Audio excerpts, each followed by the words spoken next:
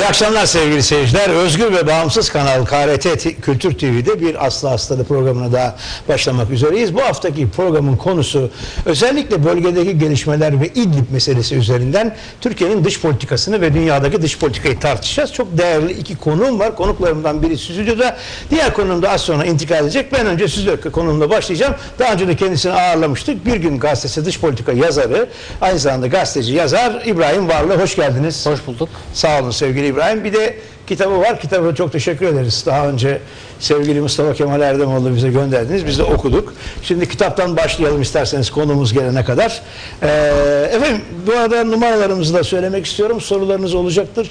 Lütfen bu programı dik- dikkatle izleyiniz. Çünkü bu konular o kadar çok yüzeysel çarpıtılarak ya da derin bilgilisi sahibi olanların bile çok açık ve vicdani bir şekilde konuşmadıkları konular olduğu için bizim programımız çok önemli. Öyle değil mi İbrahim'ciğim? Evet aynen Evet. öyle. Kendisi biliyorsunuz çok değerli bir yorumcu. Daha sonra katılacak değerli yorumcumuz, gazetecimiz Ceyda Karan da öyle.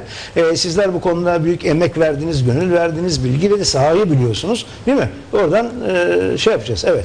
Evet olabildiğince ta- takip etmeye çalışıyoruz. Olabildiğince yaşanılanları, gerçekleri, Evet. e, gerçeklikleri aktarmaya çalışıyoruz.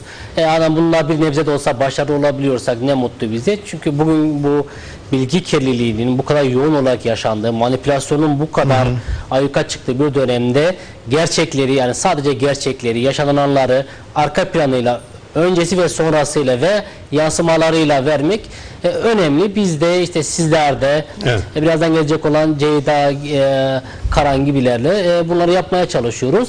Ve e, yani tarihte biz yani tarihte demeyelim de e, koşullarda e, günümüzde ve artık tarihte bize haklı çıkarmış oldu. Dün söylediklerimiz bugün aşağı yukarı e, Evet. sahada savaş coğrafyasında vuku buluyor. Bu anlamda e, gözlemlemek yerine gözlemlemek, doğruları aktarmak önemli.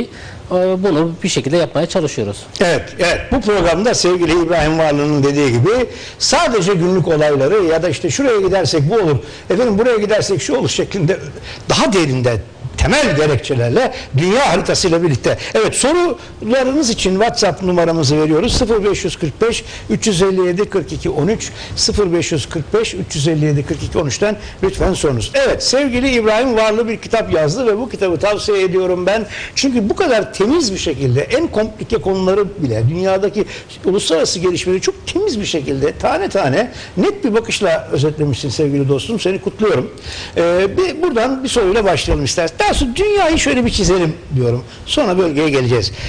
Dünya hegemonya savaşlarıyla, hegemonyanın bitişiyle yani daha sonra ikili hegemondan tek hegemona geçiş ve arkadan hegemonya sonrası yani bir gerçeklik sonrası döneme girdi. Bu öyle bir dönem ki artık ne eksen kaldı, ne değerler kaldı, ne ilkeler kaldı.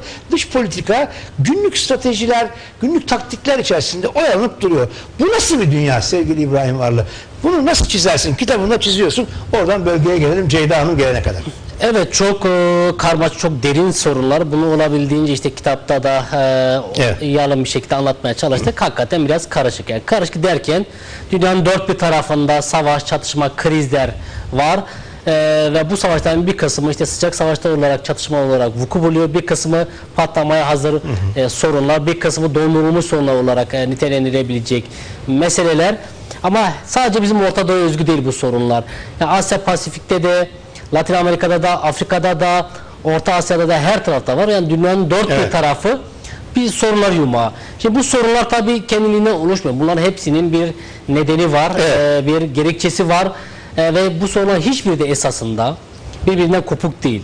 Yani Orta Asya'daki sorunları, Orta Doğu'da, Orta Doğu'daki sorunları Asya Pasifik'teki sorunlardan, oradaki sorunlar Latin Amerika'daki sorunlardan çok fazla bağımsız ele alamayız. Neden? Çünkü Neden? He, ben onu Nedeni şu. Çünkü Onu bir anlatalım, evet. dünya yeni bir paylaşım, hegemonya, nüfus mücadelesi içerisine girmiş durumda. Evet.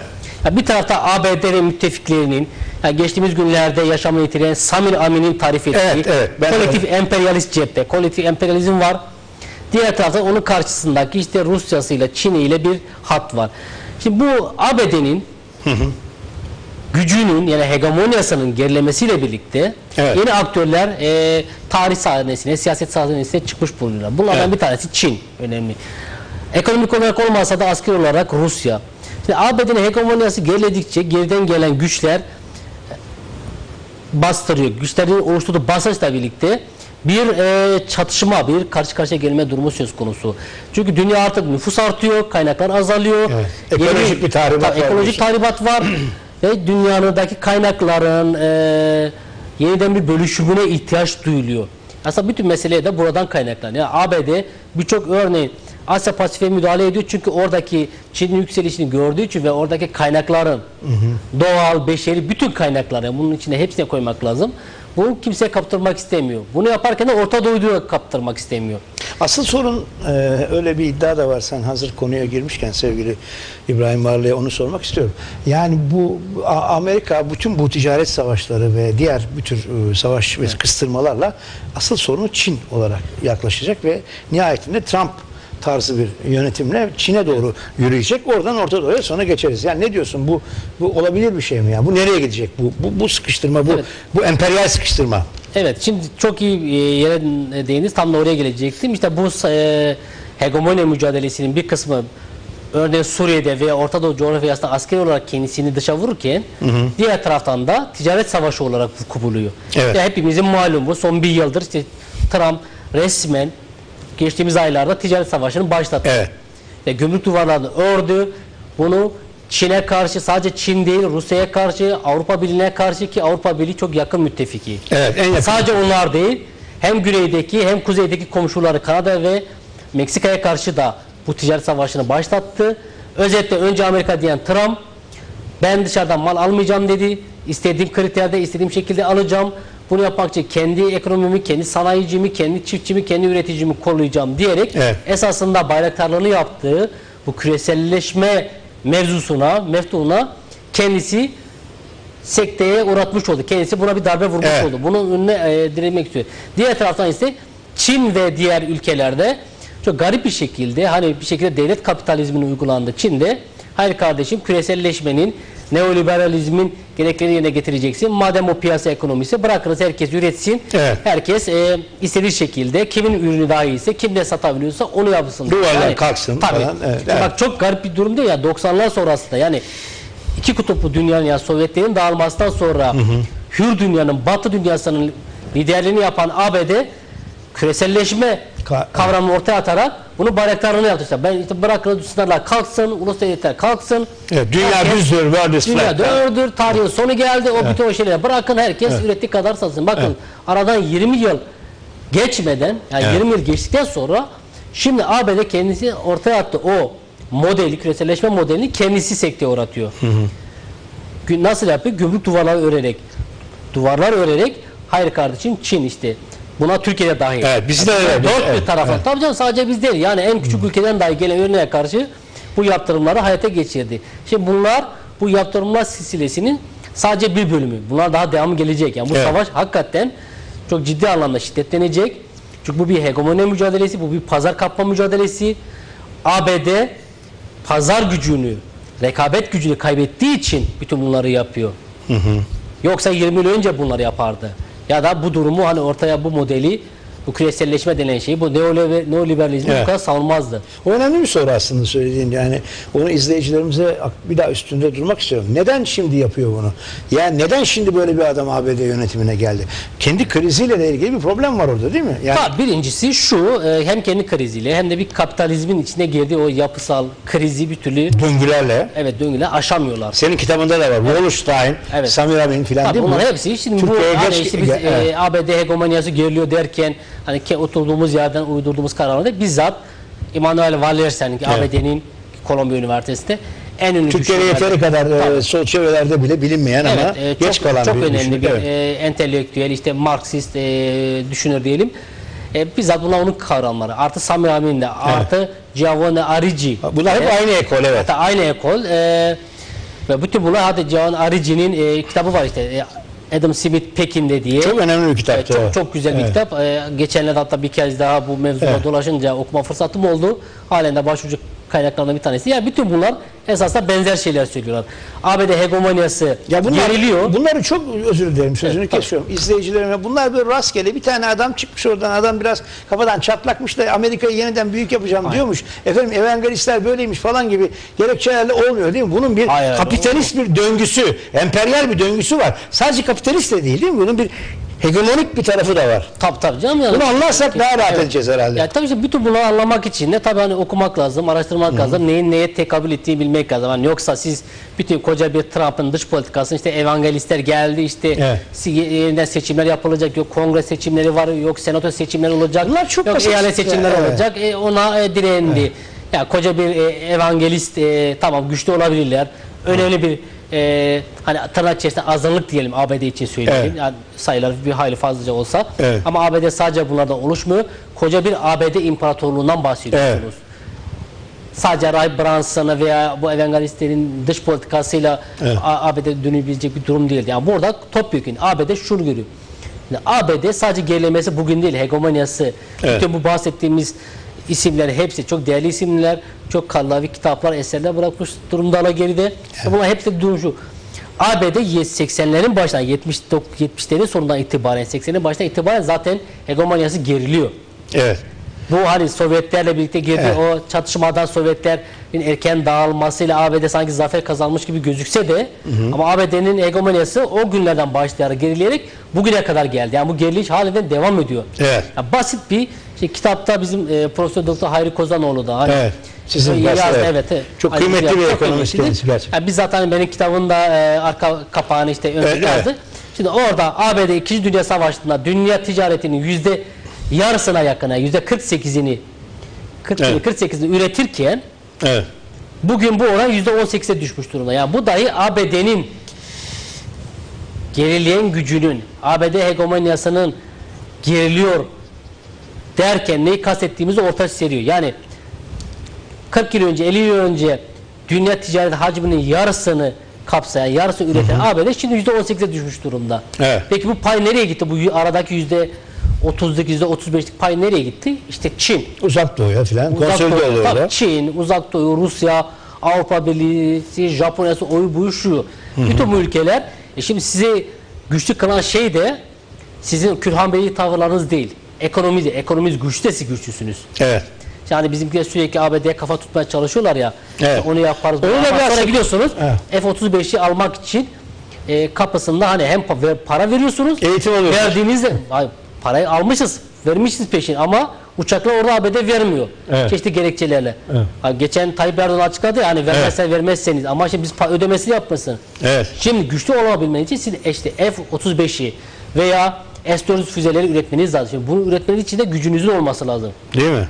Yani Yani bu sistem- durduğunuz yerde güçlü olamazsınız. Hani ne nüfusunuzda ne Kürhan Bey tavırlarınızda ne de e, sert bıçkın çıkışlarınızda Evet. güçlü kılan ekonomimizdir. Tam da işte da ABD'nin çok mes- fazla kaynaklara sahip olursunuz. Kötü de yönetirseniz. işte Ama en böyle- azından o kaynak. Yani Kaynaklar- Rusya esasında Evet. böyle bir şey. Evet, İran falan da böyle. Bak, evet. uçsuz bucaksız ülkeler özellikle Rusya Evet, çok ekonomik olarak çok güçlü olmasa da ama askeri anlamda iyiler. Sovyetlerden kalan miras tabi bu. İnsan gücü de var değil mi? İnsan gücü de şey. var. Yani bir potansiyel de var. Şimdi siz bu doğal kaynaklara sahip değilsiniz. Evet. Yani petrolünüz yok, doğal gazınız yok.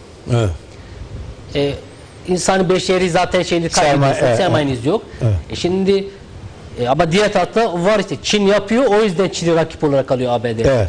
E çünkü ticaret Gelecekte o üretimini az önce dediğin gibi 48'i oraya kaptırdığı için değil mi? Gümrük koymak Tabii, istiyor büyük kısmını oraya kaptırdığı Evet. için şimdi daha da e, hızlanarak bu devam ettiği için bunu önlemini almak istiyor. Aslında Trump deli meli değil. Yani Trump Evet. veya öyle Aslında kuralına uygun oynuyor değil mi? Ben uygun. Aydın Selcan'la de bunu Tabii bu ya, kriz kaplarında... şöyle yani Evet. adam hakikaten ABD imparatorluğunun çökmek üzere olduğunu görüyor. Buna e, uygun yani oradaki o sermaye kesimlerine bir takım işte e, lobilerine bir takım çıkar kesimlerinde Ya da e, yoksul kalmış desteğiyle- eski orta sınıfa. Tabii, tabii, aynen desteğiyle ya çünkü Detroit'ta, Seattle'da orada burada ABD otomotiv sektörü çökmüş durumda. Mavi yakalılar kaybolmuş durumda. Kaybolmuş durumda. Otomotiv sektörü çöküyor. Evet. Demir çelik sanayisi e, çöküyor. Nereye çöküyor? Çin'den haberlerle. Şimdi böyle olunca da o sınıfların temsilcisi olarak Değil mi? Yeniden Amerika büyük olacak. Tabii, Slogan bile o yani aslında. Tabii. Çünkü bir de şöyle bir mesele var. Yani tarihte hiçbir imparatorluk, hiçbir emperyal güç ilelebet devam etmemiştir. Evet. Ya Portekizlerden tutun da İspanyollardan, Hollandalılardan, Hollandalı, evet. Fransızlardan, İngilizlerden ABD'ye geldi bu dünyanın hegemonik gücü olma durumu. Ve Aslında çok özür dilerim bu devlevi olarak bakarsak fazla bile kalmış hegemonik güç değil mi? Yani sen az önce dedin yani Sovyetler Birliği eğer e, bir, bir beklenmedik bir dağılma olmasa belki bu ABD hegemonik gücü daha erken sıkıntıya girecekti. Yani az Tabii önce ki, söylediklerine tabii yani ki. biraz böyle bakmak lazım meseleye. Tabii ki yani bu işte Sovyetler sonrası bu 30 yıllık dönemde ABD işte bir numaralı süper güç olarak, e, tek emperyal güç olarak Evet. e, hani istediği gibi at koşturabildi. Ama şimdi bütün bunları yaparken de hep birçok yerde çuvalladı. Evet. Şimdi bakınız hani ABD'yi hani gözümüzde ya tabii ki çok büyük güç. Halen bir numaralı emperyal güç. Evet. Bir süper güç. Bu söylediklerimiz bunu hani e, yatsımıyor ama ABD bakın 90'dan bu yana el attı. Bütün coğrafyalarda kaybetti. Evet. Bakın Somali'ye müdahale etti. Evet. Somali'de istediği düzeni kuramadı. Evet. Irak'a müdahale etti. Bakın Irak'ı müdahale etmesine rağmen İran'a kaybetti. Halen öyle. Afganistan'da Afganistan'da evet. İşte zaten e, önümüzdeki ay e, yıl dönümü olacak yine Afganistan işgalinin. kaçıncı yıl üstüne? Evet falan 2000 neredeyse? işte e, 2002 bir, 2001'di. 2002 başı galiba. Evet başındaydı. E, kaç yıl oluyor işte. Halen Afganistan'da çuvalı ve sürekli hani işte asker kaybediyorlar bir şekilde. Evet. İstediği oyunu kurabilmiş değil. E, geliyorsun Irak'ta yine öyle. Geliyorsun Afganistan'da öyle. Geliyorsun Suriye'de bakın Suriye'de istediğin ya küçük bir Evet. Orta Doğu ülkesi Suriye de istediğini kuramadı. Koca bir emperyal güç. Üstelik Rusya çok sonra girmesine rağmen Tabii ki? Konuşacağız tabii ki. bunları gerçi. Değil mi yani? Rusya, Rusya ya, Rusya 2015'te girdi. E, evet, yani. 2015 Eylül'ünde tam öncesinden destek veriyordu ama 2015 Eylül'ünde ilk kez savaş uçaklarının bomba bırakması Rusya fiile oraya girdi ama onun öncesine kadar 2011'de başladı. Yani 4 yıl boyunca istediği oyunu kuramadılar. Ya Rusya'ya rağmen de kurabildi ama ABD'nin o gücü yok yani. istediği yerde istediği oyunu kurabilme kapasitesini artık kaybetmiş durumda. Evet. Çünkü birçok cephede savaşıyor ABD. Ve bu cephelerde de her birinde de bir şekilde e, güç, enerji kaybediyor. Hani o e, eskiden hani çok bundan bir 10 yıl öncesine kadar hani işte ABD istediği yerde istediği adamın deviriyor, istediğini getiriyor, istediğini götürüyor. Halen birçok yerde o gücü olsa da ama bu güç azalıyor ve artık görüyorsun gelip Suriye'de duvara çarpabiliyor. Bir şey Gelip Irak'ta yapabiliyor. Bunun bir şeyi var mı? Şöyle bir şey söylemek istiyorum izninle. Yani Ceyda'nın geldiğini soracağız ona ona da. Sana ben şimdiden sormuş olayım lütfen. Ee, bu ABD'nin oynadığı oyunun eskiden Soğuk Savaş'ta falan siyasal bir gerekçesi vardı. İşte karşı tarafta sosyalistler bir, tırnak içinde özgürlüğü işte hür dünya filan. Daha sonra bu iş e, Sovyetler Birliği dağılınca e, Orta Doğu'ya ve Arap ülkelerine demokrasi getirme haline geldi. Şu anda belki Amerika'nın artık öyle bir bütün bu ideolojik kasnakların da hepsi kırıldı. Acaba bunun da etkisi var mı bu işte? Yani gerekçesiz bir Mesela Amerika işte şeyde Fırat'ın doğusuna gerekçesiz bir şekilde duruyor. Kendi ne diyorsun? Ce Ceyda Kan'a da soracağım bunu. Aynen. O kadar güzel bir noktaya değindiniz ki Değil hakikaten mi? Evet. çok yani. Ya üstünden geç Sovyetler lütfen. iki Evet. kutuplu dünya döneminde en azından hakikaten bir ideolojik gerekçesi Evet. vardı. Yani bir tarafta şeytanlaştırdıkları tırnak içerisinde bir Evet. Sovyet yani bir komünist ideoloji vardı. Diğer tarafta hür dünyanın lideri Evet. tırnak, içinde içerisinde piyasa ABD var. vardı. Evet, Evet, evet. Piyasayı, insan haklarını, demokrasi. Otomobil alan orta sınıf falan. Evet. İşte Amerika'da var. Amerika vardı. Evet. Bu bahanelerle gidip müdahale edebiliyorlardı. Evet. Hakikaten yani Sovyetler sonrasında ABD artık hani bir yere müdahale edebilme, etmek için hiçbir gerekçeye Bir süre Gerekçesi idare etti demokrasi işte Tabii. radikal İslam'a karşı Evet. falan öyle bitti. o da bitti ve şimdi hiçbir e, gerekçe sunmadan tamamen keyfe keder bir şekilde Evet. bu da tam da bir ABD barbarlığının emperyalist barbarlığının bir dışa vurumu. Artık Hiçbir gerekçe duymadan Evet. bir yere gidip müdahale edebiliyor.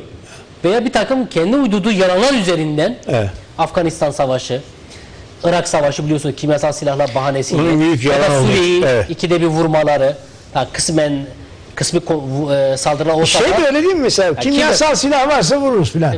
Yani yok ama bak Nisan ayında vurdular yine. Ben- Gene vuracak kendine falan ha. Gene de hani vurma ihtimalleri yüksek. Vurabilirler de vurmayabilirler de biraz dengeler e, belirleyecek. Ya tamamen gerekçeler. Var mı yok hayır. Va- bir kanıt sunuyor musun? Hayır. Irak işgalinde. Irak bak milyonlarca kişi yaşamını yitirdi. İşgal ettiler, vurdular. Sonra kendi Dışişleri Bakanı Colin Powell Evet. çıktı dedi ki Birleşmiş Milletler kürsüsünde yalandı. Aldattılar, aldatıldık. Şimdi ama sen aldatıldın, aldatıldın tamam da Geride ama enkaz haline bırakılan bir ülke bıraktı. Ha. İngiltere'de neler oldu Blair. İngiltere'de. O değil mi? O, o Baral diyen adam ben yalan söyledim dedi. Tabii canım, o hepsi, haberi yapan. hepsi ortaya çıktı. Şimdi artık burada ihtiyaç duymuyorlar. Şimdi bakın görüyorsunuz işte ABD geldi geldi işte Fırat'ın doğusunda Doğu Suriye ve Batı Irak arasındaki o zengin enerji havzası bölgesine yerleşti. Yani Fırat'ın Evet. doğusu tarif edilecek.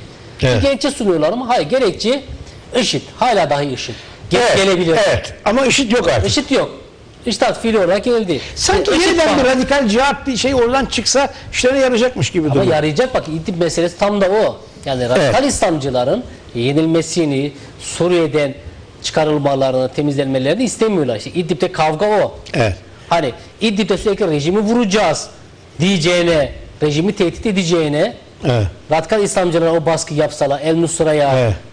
Ahrar Şam'a, ÖSO bileşenlerine, Evet. Fethi ordusuna ve türevi bir sürü örgüte Nusra Ya Cephe bunlar işte yapsalar- radikal, radikal cihatçı örgütler. Yapsalar al sana IŞİD tehlikesi zaten bertaraf edilmiş olacak. Çünkü bunlar zaten IŞİD'in parçaları. Zaten bunlar IŞİD'den farksız örgütler. Hep İçine girmiş çıkmış değil mi? Orada çok kaygan da bir zemin var Hatta galiba. girip çıkmasına gerek yok. Yani bunlar zaten aynı ideolojik formasyona sahip.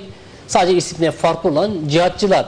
Şimdi siz yani Nusra cephesinin IŞİD'den ne gibi fark olabilir? Evet. Şu anda İdlib'de ilan edilen emirliğin, Rakka'da ilan edilen IŞİD emirliğinden bir farkı yok. Aynı e, şer'i, Yaşam aynı şekli, şeriat, şeriat, aynı yaşam evet. şekli, aynı düşünce. Yani nüans farkları dahi esasında yok. Çünkü bu örgütler öyle. Belki de aynı adamlar değil mi? Daha önce Tabii, girip tabii, çıkan. tabii, tabii ki aynı ama Bunlar şey değil yani.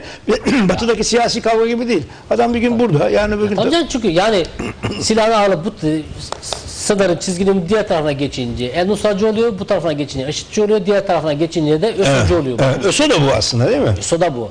Bakın ÖSO istediği kadar ambalajlamaya çalışsınlar, istediği kadar pazarlamaya çalışsınlar. Hani ılımlı diye pazarlamaya çalışsınlar. Yani radikal İslamcı, radikal İslamcı silahlı yapıların ılımlısı radikal olmaz. Bunların hepsi aynıdır. Hepsi aynı e, militan, aynı güruh ve bunlar hepsi aynı derecede tehlikeli. Aynı ideoloji. 10 dakika içerisinde bütün ÖSO militanlar nasıl vahşi birer canavara dönüştüklerini, nasıl birer IŞİD militan olduklarını çok rahat bir şekilde görebilirsiniz. Çünkü bunlar sadece dönemsel koşullar gereği işte ÖSO şemsiyesi altında bir şekilde e, paralarını alıyorlar biliyorsun. Bir kısmının büyük paralar Türkiye'den veriliyor. Aşiret bağları falan da var. Aşiret bağları var. Türkiye'den destekleniyor. Diğer Körfez Arap ülkelerinin destekliyor. Biliyorsunuz geçenlerde BBC yaptı bu haberi. Evet. ÖSO militanları biz maaşımızı Türkiye'den dolar olarak almak istiyoruz. Maaşımız eriyor diye bizzat hani uluslararası ajanslar tarafından yapılan haberler. Yani böyle çok iç içe geçen birbirine fark olmayan yapılar bunlar. Şimdi ABD'nin IŞİD'de bahanesi olsa bunlarla arasına mesafe koyar. Bunları yok edilmesi için Şam yönetimiyle e, işbirliği yapar veya Rusya'ya bir şekilde destek veya en azından Değil mi? tehdit etmez. Dolaylı olarak Rusya üzerinden yapabilir. Yani diyelim Şam'la sen şeysin ama Rusya Rusya, üzerinden. Rusya üzerinden yapar. Zaten Rusya ile görüşüyorsunuz. Evet. Onların o görüşmelerinde bir türlü bir noktaya gelemiyorlar ama. Ya gelebilmesi mümkün de çünkü yani bu güçler arasında da ciddi bir e, işte nüfus mücadelesi var. Yani çünkü İdlib'in düşmesi demek Rusya'nın Fırat'ın batısından itibaren başlayarak ta Akdeniz havzasına kadar olan Evet. Sınıra kadar Suriye'nin dörtte üçlük kesiminde Rusya'nın kendi e, hegemonik alanını test etmesi demektir. Yani Suriye yönetimi diye. Çünkü yani Suriye'nin kazanması demek Rusya'nın kazanması demek. Rusya'nın bölgesel çıkarlarının e, temize çıkarılması demek, e, sağlanması demek. Bu nedenle bunu istemiyorlar. Çünkü Bütün bölge için Rusya e, adına değil mi? Sadece Suriye için konuşmuyorsun. Ya- Irak, İran, bütün o bölge için bir kilit o. şu, yani şu anda hani e, aciliyet Suriye olduğu için şimdi Suriye'nin Rusya için şöyle bir önemi var. Yani Evet. Ne onu lütfen Rusya'nın- izleyicilerimize bir tane tane anlatalım. Rusya'nın Sevgili ülke- izleyiciler soru için tekrar söylüyorum 0545 357 42 13 çok özür dilerim 0545 357 42 13 evet neden İbrahim? Neden? Çünkü Evet. Rus ya Rusya'nın ülke toprakları dışındaki Rusya biliyorsun uçsuz bucaksız bir coğrafya ülke. evet Ülke toprakları dışındaki tek askeri üs dedi Suriye'de çünkü. Evet Bu nedenle çok önemli. Hem askeri üs ya donanma üssü var, deniz üssü var hem de askeri üssü var. Biri Tartus'ta donanma deniz üssü var. Diğeri de Laske'de Hümeymi'nin askeri üssü var. İşte bunların e, bu üslerin orada olması demek Rusya'nın Orta Doğu'ya ayak basması demek. Evet. Artı çok meşhurdur. Hani bizim tarihsel olarak kitaplarda hep okuduk. Rusya, Sıcak denizler hikayesi. Heh, sıcak denizde inmek. Denizi yok çünkü. he. Evet, çünkü sıcak denizde Bütün antikomünist söyle böyle başlar. Aynen. Şimdi sıcak denizlere inme mevzusu esas hani bu konuda işte evet sıcak denize inmenin Çar Petrol'ün de böyle bir Baş- talimatı varmış değil mi daha önce? işte varmış yani o çok yadırganacak bir durum yani. Şöyle çünkü her ülkenin kendi emperyal veya e, yayılmacı hevesleri vardır. E, Rusya'nınki de var. E, Rusya işte sıcak denizlere açılmanın noktası Suriye. Çünkü Akdeniz sıcak deniz. Güney Akdeniz'den evet. Tabii Güney Akdeniz, Doğu, Doğu, oradan ve Doğu Akdeniz hükmediyorsunuz. Oradan Süveyş Afrika'ya Kanalı var, belki. oradan Hint Okyanusu Kuzey var. Afrika, evet. E, açılıyorsunuz. E şimdi bu nedenle çok önemli. E artı Rusya şunu kanıtladı. Yani Suriye'de hakikaten ABD'nin bileğini büktüğü için Evet. oradan Lübnan'a tesir edebiliyor. Oradan Irak, oradan Orta Doğu'nun tamamında hani artık ben de varım. Beni de dikkate almak zorundasın. İran'la da bir Tabii İran'la da bir Eks- e, e, bir eksen bir şekilde oluşturmuş durumdalar.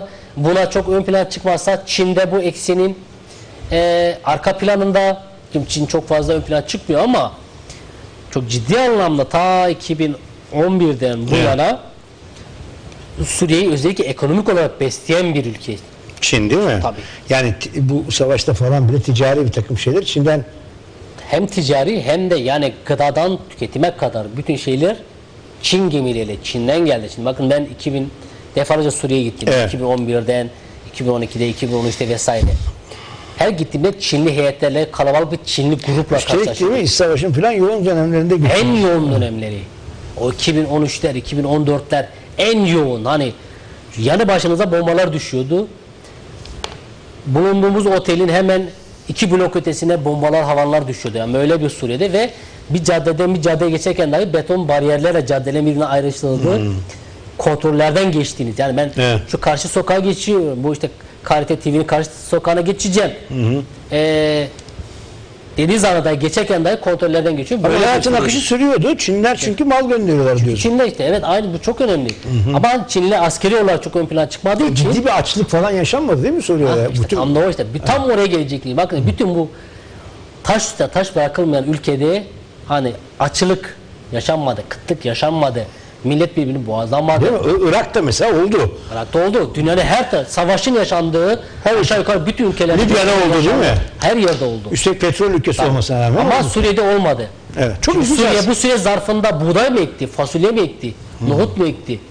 Zaten ülkenin yarısı mülteci duruma düştü, yarısı savaşıyordu.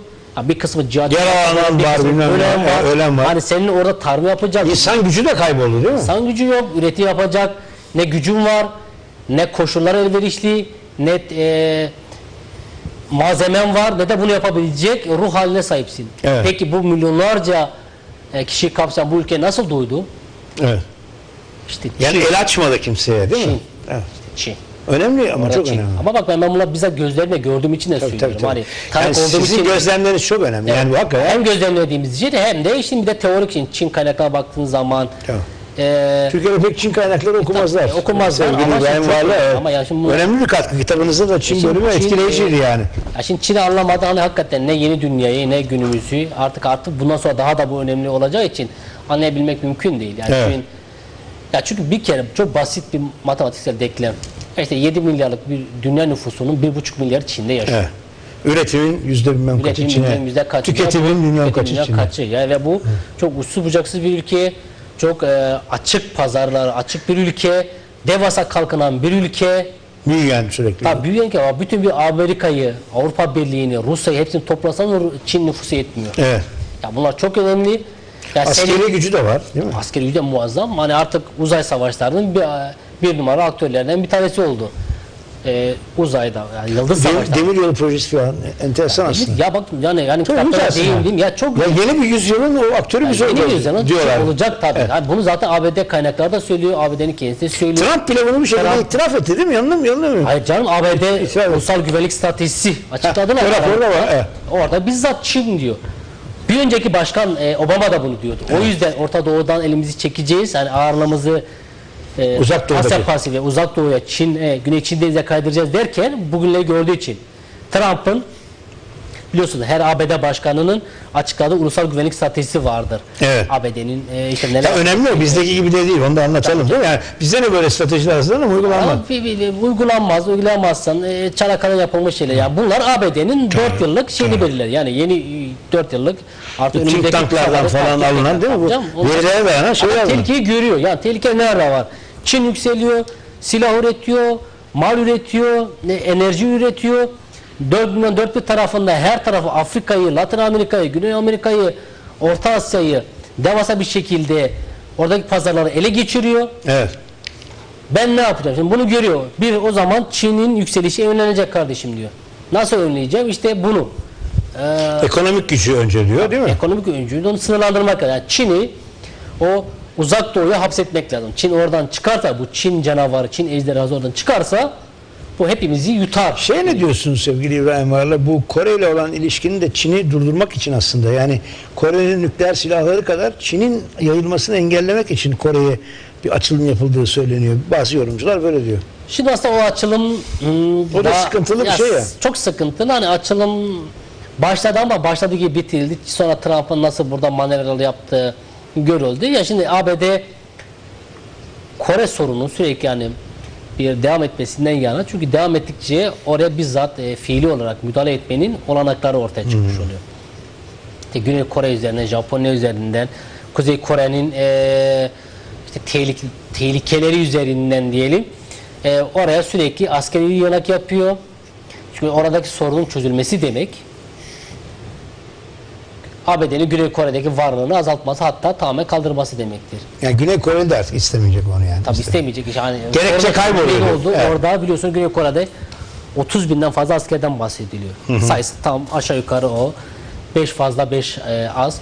E, Japonya hakeza yine 10 binlerce asker ve sürekli biliyorsun her yıl ciddi anlamda hem Koreli hem Japonlar ABD askeri çekilsin diye adalardan e, sürekli eylemler yaparlar ve çok kitlesel milyonlarca kişinin Güney Kore'de değil mi? Güney Tabii Güney Kore'de. Kore'de, Japonya'da. da. Çok büyük tepkiler var. Tabii çok tepkiler var.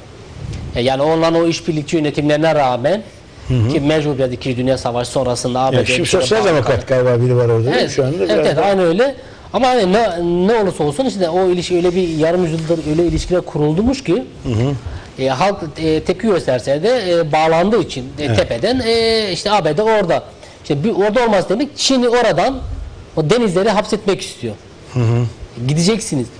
Bunu oyalamak için bir anlamda Çin'i işte Kuzey Kore sorunu sürekli kaşıyor. Yani e, Kuzey Kore lideriyle falan görüşmesi e, orada yeni bir açılımın olacağı anlamına gelmiyor. Anda zaten açılım açılım yok. E, hatta Kore liderlerinin birbiriyle görüşmesini dahi istemiyor. Bizzat hani e, Kendisi görüşmeyecek- götürmek, tabii, evet. görüşmeyeceksiniz diyor. Çünkü onların düşman olarak kalması ABD'nin emperyal politikalar açısından gayet e, elverişli bir iklim sunuyor. Çünkü müdahale ediyorsunuz. Burada bir soru sormak istiyorum. Bu Asya, Çin, Pasifik bölgesi gerek Soğuk Savaş öncesi gerek yani bir önceki yüzyılın en çetin savaşlarının, iç savaşlarının yaşandığı yerlerdi. Şimdi o bölgenin bir barışçıl yüzyıla doğru evrildiğini görüyoruz. Sadece Çin değil yani Vietnam. Yani ne diyorsun orada? Biraz da kapitalist e, yani Çin hala kendisinin işte komünist olduğunu hala Marksistlerin bir takım şeyler var. Farklı modeller bir takım şeyler çıkabilir mi dünya için orada?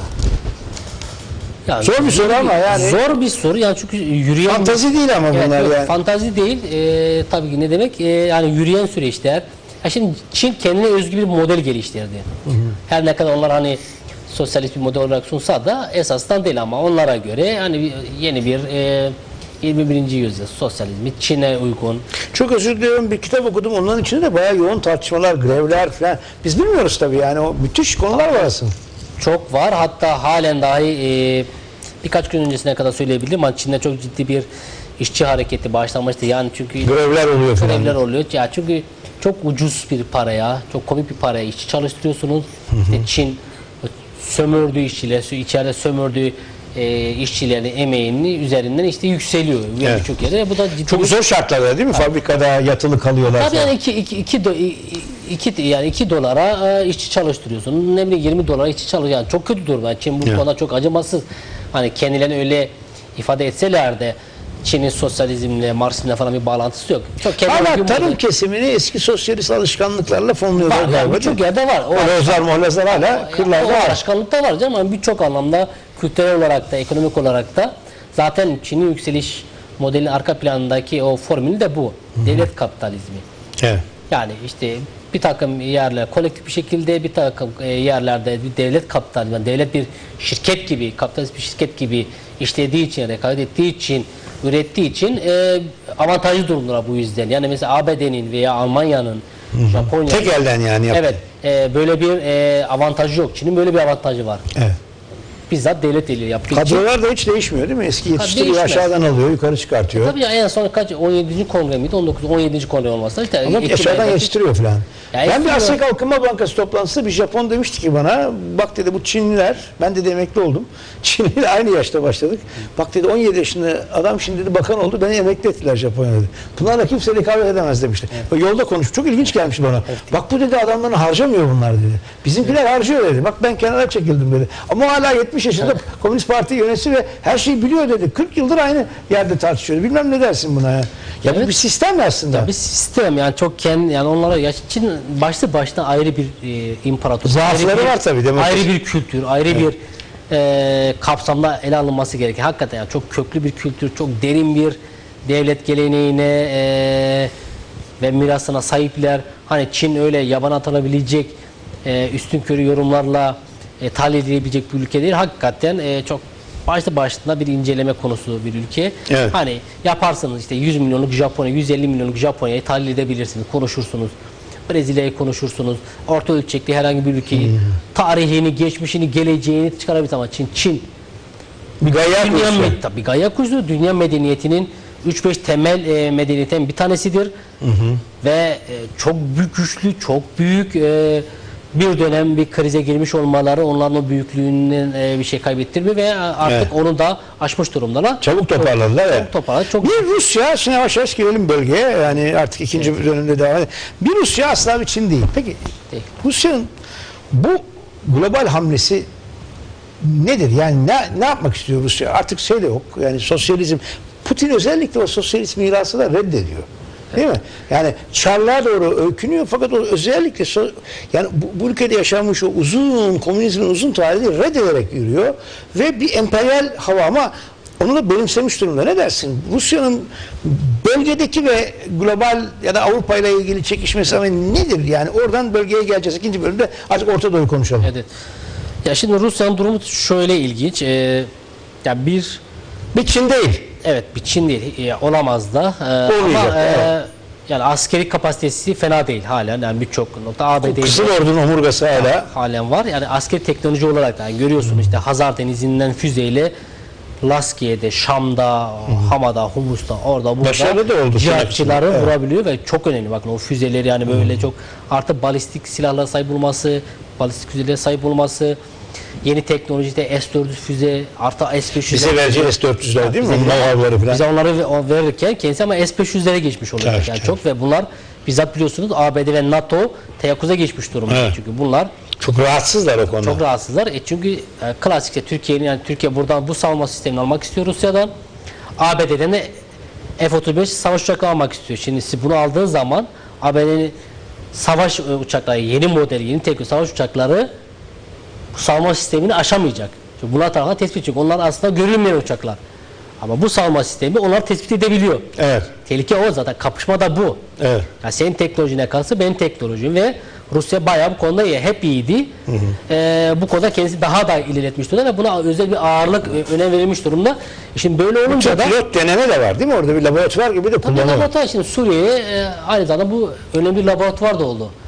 Gelip Kıbrıs açıklanan Doğu Akdeniz'den gemilerden, savaş gemilerinden füzelerle örneğin Halep'teki e, cihatçı mevzileri veya İdlib'deki veya Denizor'daki yerler vurulabiliyor. Şu konuda katılır mısın? Ürkek geldi. Kendine güveni geldikçe daha rahat hamleler yapmaya başladı. Ne diyorsun? E, tabii, İlk başta tabii, bir doğru. ürkek geldi yani. Tabii doğru. Ya o ürkekliğin nedeniyle zaten biraz geç girdi Suriye Evet. sahasına. Ondan değil mi o yani? O, E, tabii. o bir Ya- stratejik plan değil yani. Yok stratejik değil yani şöyle biraz e, birbirlerinin ellerini yoklama, biraz Hmm. e, nabız çekme, biraz e, güçleri, dengeleri gözetme. Şimdi Ya her şey olup bittikten sonra karşı tarafı zayıf olarak gördükten sonra Amerika'yı yani ondan sonra bir rahatlama oldu orada. tabii bu da bunu yaparken ne bir şekilde kontrollü bir şekilde yine girmiş oluyor. Şimdi Rusya öyle tepe taklak girmiş de öyle olsa zaten e, Suriye'de taş üstüne taş bırakmaz. Hani işte 3 5 Öyle yapmıyor, evet. Yani Ya çünkü Rusya şunun farkında. Yani acaba beni bir tuzağa mı çekmek Ya istiyor? yani? Amerika'nın yaptığını yapmıyor. Amerika Ya- Irak'ta yaptığını yapmadı. E çünkü ABD'nin şöyle bir rahatlığı var. Yani okyanus ötesinden geliyor. Ya burada işleyeceği her türlü sıkıntı, her türlü Evet. şey kendi ülkesini etkilemeyecek. Çünkü niye okyanus ötesinde? Çünkü ta 10 binlerce kilometre öteden geliyor. Evet. İşte Rusya'nın böyle bir e, rahatlığı, böyle bir Bu bölgenin şey değil mi? Bu bölgenin yani Cihatçı oraya ona gidiyor, ondan geliyor falan Buradan yani. geliyor, buradan gidiyor. Sen burada bunu yaparken Orta Asya, Kırgızistan'dan, Özbekistan'dan, Orta Asya'dan En tehlikeli gruplar. e, gruplar sana saldırabilirler. Kafkasya'dan saldırabilirler. Ukrayna'dan bir savaş açılabilir. E biliyorsunuz Ukrayna ile bir şekilde fiili bir savaş halindeler. Tamam. Evet, orası sıkıntılı, değil mi? Sıkıntılı tabii. E, ya şimdi böyle bir sıkıntı. Şimdi Rusya buraya hani Suriye'yi açılayım derken arkadan birilerden birileri vurur mu? Tabii Avrupa ile arası iyi, değil Avrupa falan. değil zaten Avrupa'nın hem askeri hem politik hem de e, ekonomik ablukası altında yani Evet. olarak uygulanıyor. Evet. Artı ABD de uyguluyor. E şimdi böyle olurken birçok cephede Rusya o kadar hani geniş olanaklara sahip değil. E, savaşmanın veya çatışmanın sıkıntılarını yaşayabilir. O nedenle biraz ürkek gelen ben Suriye'ye girersem ne kadar dalarsam acaba Suriye tuzağına düşebilir miyim?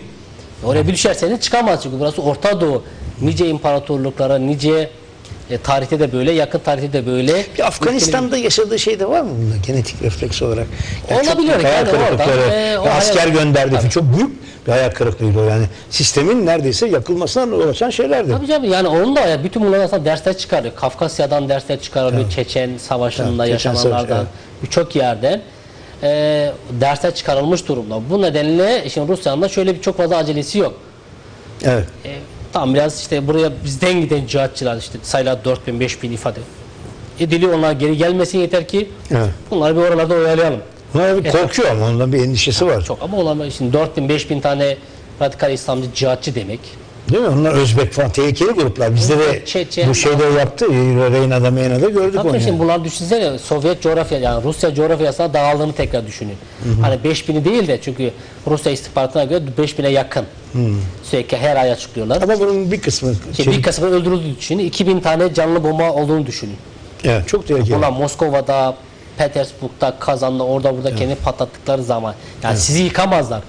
Sizi değiremezler. Yani Rusya'yı ortadan kaldıramayacaklar ama Moskova'da 3 tane canlı bomba Kargaşa, demek, evet, evet. yüzlerce kişinin ölmesi demek e, her anlamda e, her anlamda çok çok büyük bir sıkıntı demek. Peki Bunlar- bu İdlib'de ne olacak? Artık gelelim buna ikinci bölümümüz. Hani ya bunlar bu kadar da burada 70 bin 50 ile 70 bin arası radikal cihatçı olduğu söyleniyor. İşte 3-5 bini Orta Asyalı filan. Şimdi bu biz farklı şeyler söylüyoruz. Dünya farklı şeyler söylüyor.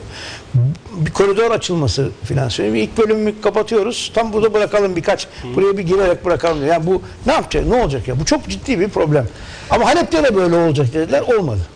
Şimdi Halep'ten İdlib'in Halep'ten farkı şu şimdi. Halep'te İki dakikamız var. Bir Tamam, geri- Halep'tekiler İdlib'e topladılar. Yani bütün aslında Dera'dan, Lübnan sınırındaki Kuzey Dera'dan, Ürdün sınırındaki Dera'dan, Halep'te Şam kırsalındaki Doğu kıtadan cihatçılar koridor açarak taşıdılar. Bir yere taşımalar gerekiyordu.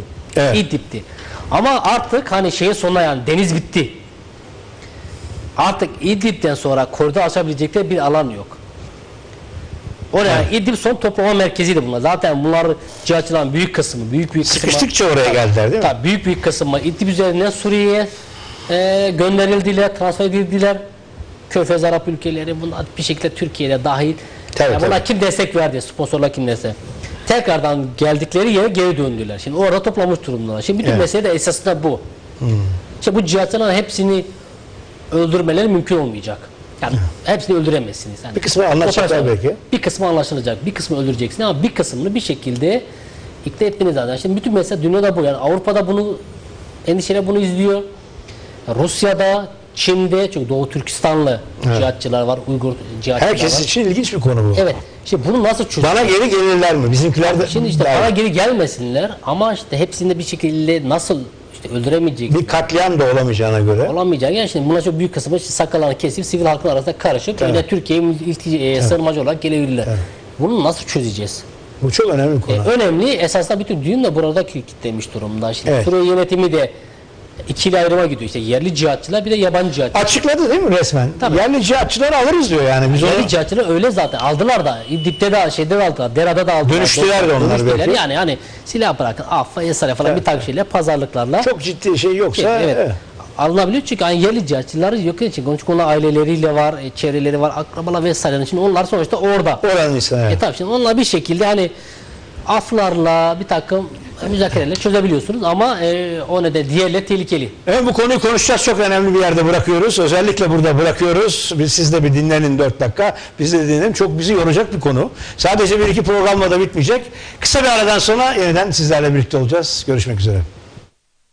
Yeniden birlikteyiz ve sevgili diğer konuğumuz Ceyda Karan da aramıza katıldı. Hoş geldiniz. Hoş bulduk. Siz geç kalmadınız. Biz o sırada ancak konuya geldik diyelim. Ne, Evet, ne evet. dersiniz bilmiyorum. Siz tabii bugünlerde... Ben biraz trafikten biraz başım kalabalıktı. Haklı olarak. e, Evet, estağfurullah, estağfurullah. Biliyorsunuz kendisi Cumhuriyet Gazetesi yazarıydı ve dün itibariyle değil mi? Artık Cumhuriyet Gazetesi yazarı Evet. değil. Bir gün o konularda konuşuruz ama biz kendisini uzmanlık alanında, yaşadığı alanda ve anlattığı alanda dinlemek istiyoruz. Çünkü İdlib meselesi çok önemli. Biz konuyu tam oraya kadar İbrahim, Evet. sevgili İbrahim'le bir getirmiştik ve bir hegemonyadan aldık, bölgeye geldik, Rusya'dan aldık ve dedik ki İdlib tek sıkışan bu radikal unsurlar yani direkt artık orada çünkü siz de Aa, Ceyda Hanım aynı zamanda radyo e, Sput- Sputnik ya da Rusya FM, RSFM. RSFM'de saat 4 ile 4.30 arası Eksen adı altında program yapıyor ve çok tempolu bir program. Kendisinin o temposuna da ve hem bilgi veriyor hem analiz yapıyor hem söyleşi yapıyor falan çok daha şeyiz. Evet bu eksenden alalım. Bu artık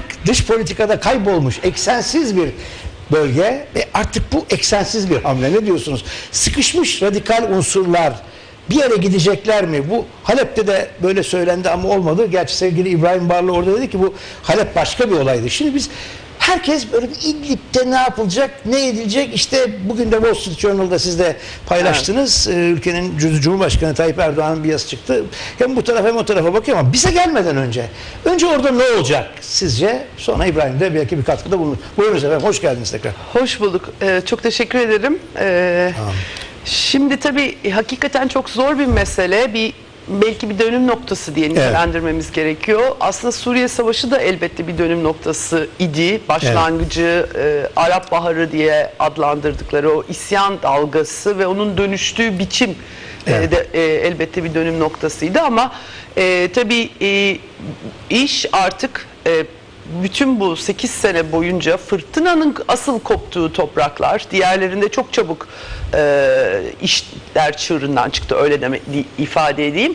Ama Suriye'de e, bir inatlaşmaya Evet. dökülen bir e, zemin haline getirildi ülke adeta. E, içerideki e, ulusalcı hükümet eğrisiyle doğrusuyla çok da e, işte e, batılı batılı liberal demokratik trendlerden e, işte çok demokrasi timsali vesaire bir yönetim olmadığını elbette biliyoruz. Ama sonuç itibariyle e, dünyadaki bütün bu liberal müdahalecilik tartışmaları ortasında oturduğu damar orasıydı.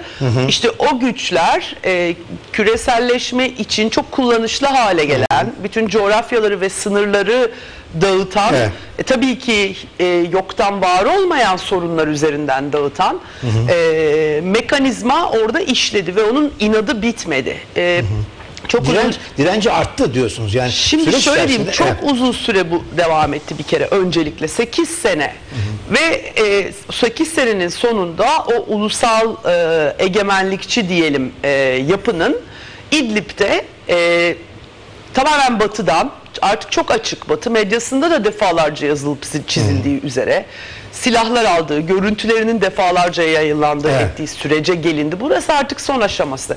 Körfez'in açıkça şeyhlerinin, şeyhliklerinin destek verdiklerini beyan ettikleri e, siyasal İslamcı yapılar üzerinden e, bu noktaya geldi ve yenilgiyle çıkıyorlar onlar oradan. Tabii ki bu e, henüz nokta son noktası konulmuş Evet. bir süreç değil. Evet. Ama Herhalde çıkacaklar ama diyor. Evet. yani artık İdlib kaldı burada. Bir de tabii ki Amerika Birleşik Devletleri bu süreci Irak'taki gibi bir işgal üzerinden değil, doğrudan bir askeri müdahale üzerinden değil, vekil güçler üzerinden. Burada Evet. Türkiye'nin rolü var elbette. Yürüttü ve bir aşamada o da Donat falan, Kobane'ye donattan başlayan süreci e, tabii ki çok daha önceden başladığını Evet. pek çok kaynak yazdı çizdi ama e, açıkça ılımlar diye ayırdılar. Bazı gruplara açıkça CIA programları, paralar, silahlar gönderdi falan. Bunların hepsi yazıldı, çizildi. Ama sonuç itibariyle bir şekilde vekalet olarak yürütülen bu durum bir aşamada Amerika'nın Kobani meselesi üzerinden ve IŞİD olgusunun Irak'a dayanmasıyla birlikte e, doğrudan sahaya müdahalesini getirdi. Yani IŞİD olgusunun e, yenilmesi sürecinde doğrudan sahaya inmesini getirdi. Yani şöyle e, özetlersek Evet. nasıl ki Irak işgalinde doğrudan sahada postallarıyla e, komuta kademeleriyle Amerika Birleşik Devletleri varsa bugün geldiğimiz aşamada da Suriye'de bir Amerikan işgali var. Evet. Tabii ki uluslararası elimizdeki verili uluslararası yasal çerçeve açısından Evet. bunu söylüyoruz. Çünkü en nihayetinde kimse beğensin beğenmesin insanlar Birleşmiş Milletler'de e, Birleşmiş Milletler hukuku uyarınca ülkeyi temsil eden bir otorite var ve o otoritenin izni dışında gerçekleşiyor. Tabii bu Evet, Rusya'nın varlığı izin içinde ama Amerika- tabii askeri, diplomatik, siyasi o bir davet. Ona kimsenin uluslararası hukuk açısından bir şey demeye e, hakkı kalmıyor. Amerika böyle değil diyorsunuz. Orada bir sıkıntılı bir E, durum var. Tabii o öyle bir şey var. Şimdi insanlar da burada öyle bir e, tabii durum çıkıyor ki bu da başka bir tartışma konusu. Elbette bu doğrudur, iyidir diyen de çıkacaktır ama ortada uluslararası hukuk kalmıyor. Evet. Çünkü o zaman İran diyor ki ben orada beni hedef alanların kampları var. Irak'ın kuzeyini Kürdistan bölgesini vuruyor. İsrail diyor ki o zaman ben de İran'ı vururum Irak'ta diyor. Türkiye başka bir şey diyor. İşte Afrin'i biliyoruz, şey Evet. biliyoruz. Yani herkesin kendisinin dışında başka e, ülkelerin topraklarını vurabildiği, hedef seçebildiği bir e, yapı. Uluslararası hukuk mükemmel olmayabilir. İkinci Evet. Dünya Savaşı sonrası tesis edilen Sorunları ama olabilirdi bu, ama tabii sorunlu Evet. alanları var ama bugün gelinen aşamada Evet. e, tamamen e, dağıtılacak noktaya gelmesinin tezahürü sonucu tam bir kaos. Bunu Evet. da e, Suriye fotoğrafından görüyoruz. Evet. Şimdi orada e, son olarak belki şunu söyleyebilirim. Lütfen. Orada toplaşanlar bu savaş yerel ateşkeslerle 2015'teki Rusya'nın herkes Esad'ı satacak diye e, bana göre tamamen yanlış okurken e, ben bu görüşte değildim o zaman da E, tam aksine bütün 2015 yazı böyle geçti ve Eylül 30 Eylül'de Rusya Suriye hükümetinin daveti üzerine Evet. e, terörle mücadele için e, Suriye'ye gitti. Biraz mahcup başladı diye biz konuşmuştuk. Geç de oldu ama yani kendine güveni süreç içerisinde geldi ama böyle oldu. Evet. Şöyle mahcup tabii çünkü Afganistan diye bir deneyimi var. Evet. O zaman da hatırlayalım e, Afganistan'daki solcu hükümet Amerika Birleşik Devletleri'nin örtülü bir biçimde Brezinski bunların hepsini daha sonradan Evet, yazmıştır Amerikalı yetkililer. evet. Evet. E, örtülü bir biçimde İslamcılar üzerinden açtığı savaş karşısında zorda kaldığında Sovyetler Birliği'ni yardıma çağırmıştı. İdeolojik olarak aynı Evet. şeye denk düştükleri için. O zaman da Sur- e, Rusya e, pardon Sovyetler Birliği müdahale e, etmişti ki o işgal olarak nitelendirildi. Hala da tarihi bir de öyle yazanlar var. Bir de başka yazanlar var bunun bir Travmatik bir dönem ama hakikaten. Tabii şimdi bu işte sonuçta sizin siyasi duruşunuz ve nereden okuduğunuzla bağlantılı bir resim çıkıyor karşımıza ama tabii ironik olan, olanı şu o zaman açılan sayfa e, 1900 e, işte e, 79'larda 80'lerde açılan sayfa hala Suriye'de açık ve Evet. e, bu da e, belki Batı'nın e, bu coğrafyada genişletilmiş Orta Doğu diye onların kimi zaman andıkları coğrafyadaki kullandıkları aygıtları ya da yönlendirmeye çalıştıkları ya da bir oyun planı kurduk kurarken e, asli unsur belirledikleri aygıtları bize e, ortaya seriyor diye düşünüyorum. Buradaki İdlib'de sayısını bilemediğimiz çok e, tabii ki nüfus abartılıyor. Her şey 60-70 abartılıyor. bin, e, radikal olduğu ve Valla en az 10 bin Abartılı yabancı değil mi? savaş deniliyor. Yani ben de tabii ki elimden geldiğince bütün bu süreçte e, doğruluğunu süzmeye çalıştığım kaynaklara bakıyorum. Öyle diyeyim size. Yani burada kaynak vermeden herkes sallıyor bir şey ama Evet. ben sa- e, ben en azından şunu söyleyebilirim. Sallarken kriterimin ne olduğunu söyleyebilirim. Sallarken kriterim şu. bir sallama Hani- kriteri var yani. Herkes orada. sallamak. Ben Evet. Suriye'ye gittim bu süreçte iki kez. Ama tabii ki o savaş bölgeleri çok daha tehlikeli yerler. Ama şöyle bir e, gerçek var ortada.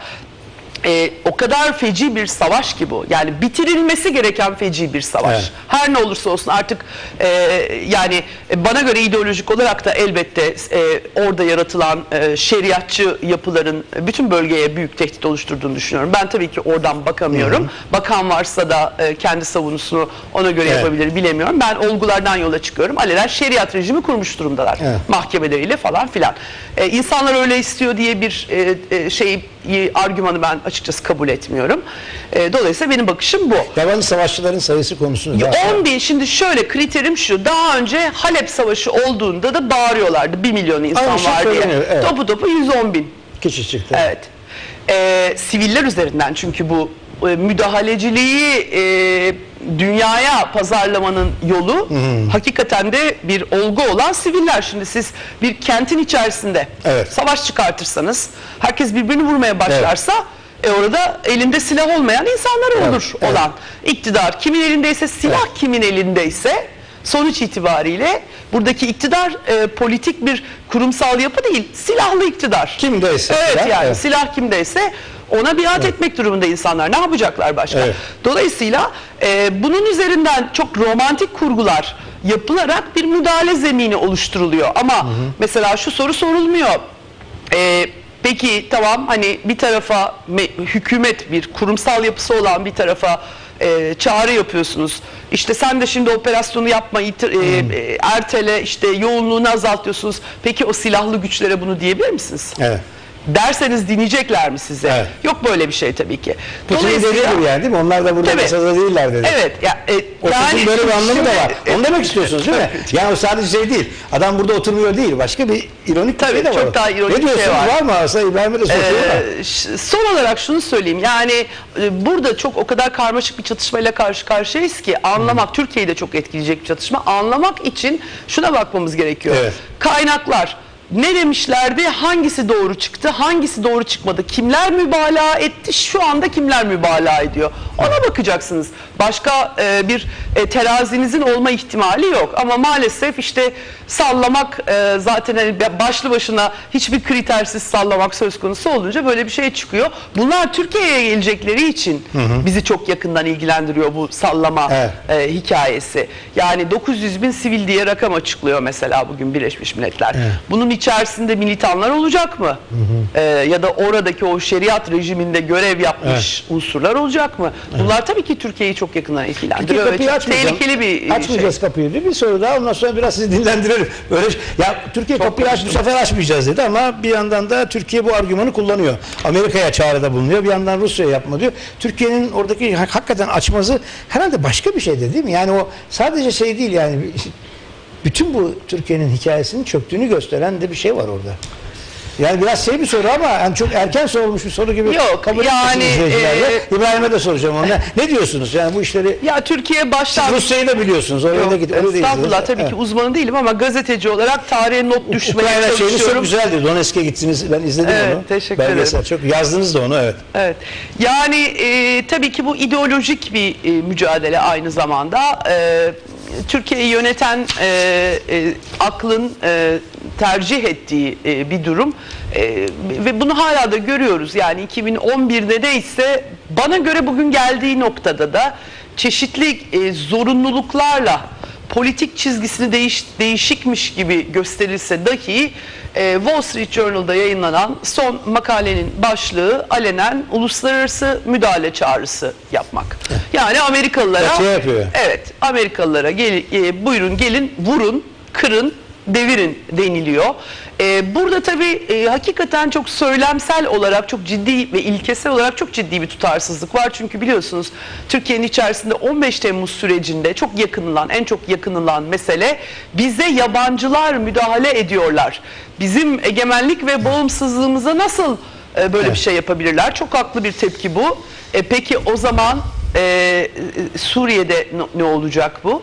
E, işte e, efendim onlar çok insan öldürdüler. Şimdi bu savaş öyle bir savaş ki kimin ne kadar insan öldürdüğünü bulamazsınız. Evet. Bunun Lahey'e mahkeme e, muteber bir mahkeme olsa e, götürseniz bulamaz çıkamaz için içinden. Çünkü bu kadar çok CIA, bu kadar çok körfez, bu kadar çok istihbaratın işin içine girdiği yerde Evet. siz suçlu da kolay kolay çıkartamazsınız. Yerleşik şehirler de değil değil mi Ceyda Hanım'ın? Yani ha, yerleşik yapılar Ya Suriye'nin yapısı kaygan- öyledir. Evet. Yani şimdi Halep'e gidersiniz tabii ki bir merkezi vardır. Bir de e, dış mahalleleri vardır. Şam da öyledir. Yani orada tarihi evet. dokusu, yapısı öyle bir şeydir. Ama burada e, hatta zaten kentlerin e, bü- büyük kesimleri çok ağır hasarlar gördü elbette. Bir de şey unutmamak lazım. E, konuyla alakalı değil ama parantez içinde Evet. söylemek isterim. 2006'da Suriye'de müthiş bir kıtlık oldu.